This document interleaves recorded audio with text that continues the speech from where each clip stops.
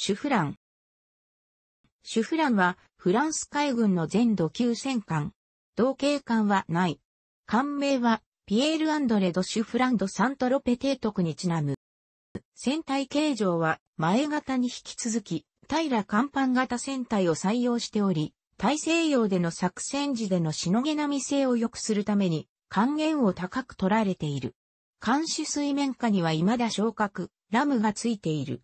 手法は1893から1896年型30.5センチメートル、40口径砲を楕円筒型の連装砲塔に収めて一機を配置、司令塔を組み込んだ、ソーダ環境、単脚式の全部ミリタリーますと、船体中央部の2本煙突は前よりに配置されており、煙突の周囲は関西艇置き場となっており、船体中央部に片弦2機ずつのクレーンにより運用された。左右甲板上には16.4センチメートル速射砲を湾を伏せたような形状の単装砲塔に収め3機ずつ、計6機と単装砲画で船体中央部に2機で計5機を搭載していた。後部甲板上に後部ミリタリーマストが立ち、その後に2番主砲塔が後ろ向きに1機配置された。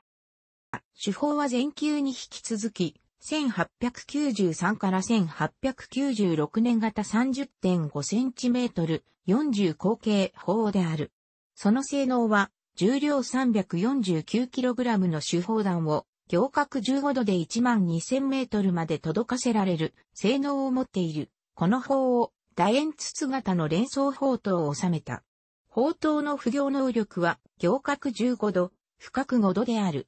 旋回角度は単体守備線方向を0度として、左右150度の旋回角度を持つ、主砲身の不要、砲塔の旋回、砲弾の溶弾、装填は主に電気で行われ、補助に人力を必要とした。発射速度は毎分一発であった。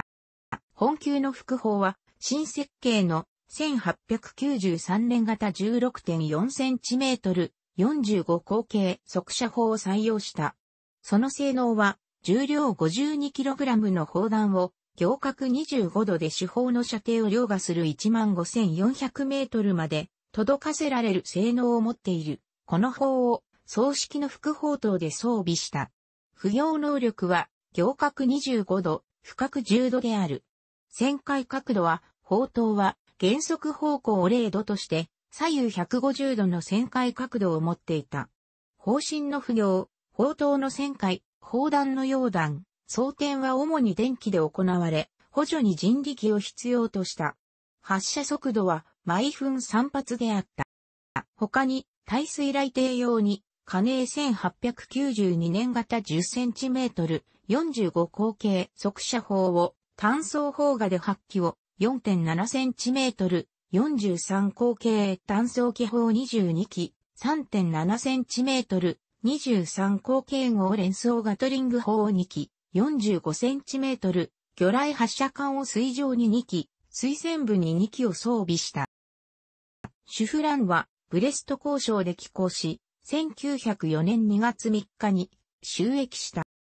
1914年9月26日、シュフランと戦艦ベリテは巡洋戦艦エーベン及び巡洋艦ブレスラウの地中海への進出阻止のために、ダーダネルス海峡を封鎖しているイギリス艦隊を支援するためダーダネスへ行くよう命じられた。11月3日、2隻のフランス戦艦はダーダネルス海峡入り口のオスマン帝国軍要塞を砲撃するイギリス艦隊に合流した。フランス軍によるわずか11分間の砲撃はほとんど損害を与えなかったが、この攻撃はオスマン帝国軍に防備の強化が必要だと気づかせることになった。11月16日、シュフランは修理のためトゥーロンへと向かった。シュフランは1915年1月9日にダーダネルスに戻り、4隻のフランス戦艦からなる船体の機関となった。2月19日、シュフランは海峡アジア側のクームケールの要塞を砲撃した。戦艦ブーベが無線で砲撃の修正のための情報をシュフランに送り、戦艦ゴーロアはオスマン帝国軍の砲撃を沈黙させる役目を担った。同日遅く、海峡アジア側のオーハニーテッペの要塞を砲撃していたイギリス戦艦ベンジャンスが要塞に接近し、激しい砲撃を受け始めた。イギリスの巡洋戦艦インフレキシブルが、ベンジャンスを退避させるために、沿岸砲を沈黙させようとしたが失敗した。そのため、ベンジャンスを撤退させるためには、シュフランとゴーロア模倣に加わらなければならなかった。この日シュフランは 305mm 砲弾30発と 164mm 砲弾227発を発射した。シュフランは2月25日にも同じ目標に対する砲撃に参加した。3月2日、フランス戦隊はガリポリ半島付け根のサロス湾で艦砲射撃を行った。3月7日、イギリスの戦艦部隊による要塞砲撃の際、フランス戦隊はオスマン帝国軍の方の制圧を図った。3月11日に戦隊はサロス湾に戻り、再び砲撃を行った。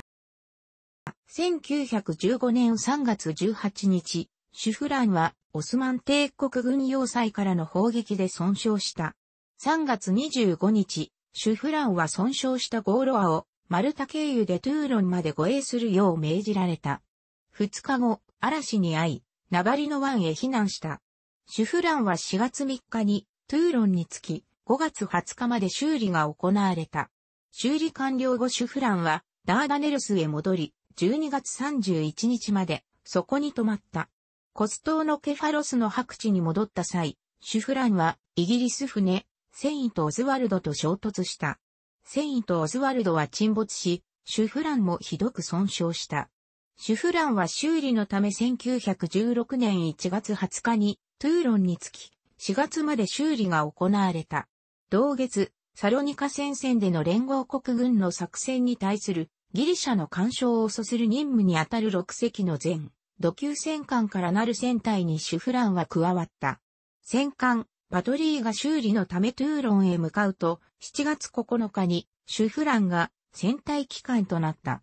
10月7日、戦艦パトリー、デモクラティとシュフランがギリシャの戦艦キルキス、レムノスと巡洋艦エレを砲撃する準備のためエレッシーナの港に入った。だが事態は平和的に解決され、フランスの戦艦は去った。シュフランは当初、ビゼルトで修理を行う予定であったが、それはロリアンに変更された。11月15日にシュフランは石炭補給のためビゼルトへ向かい、11月18日に到着した。ビゼルトからは11月20日に出港し、ジブラルタルへ向かった。悪天候のため到着が遅れ、ジブラルタルには11月23日に着いた。石炭を補給し、翌日護衛を伴わずジブラルタルを離れた。11月26日朝、リスボン付近のポルトガルの海岸からおよそ50海里沖で、シュフランはドイツ潜水艦 U-52 に来撃された。魚雷は弾薬庫を誘爆させ、シュフランはすぐに沈没した。乗員648人全員が死亡した。楽しくご覧になりましたら、購読と良いです。クリックしてください。